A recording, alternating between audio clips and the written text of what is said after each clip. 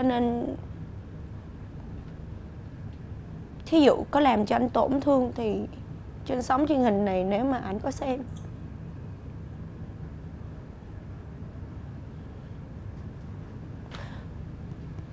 Thì thì cũng xin gửi một lời xin lỗi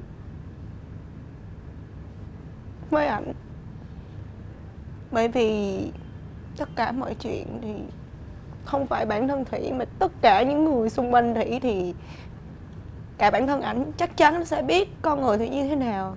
Nhưng có thể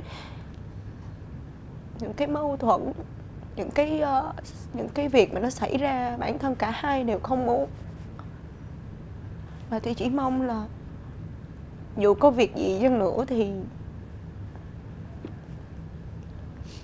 ảnh cũng sống tốt và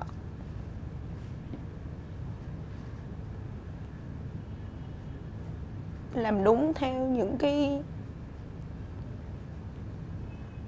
cái con đường mà anh đang chọn được một cách trọn vẹn. Thì vẫn ổn. Thủy và con thì vẫn ổn.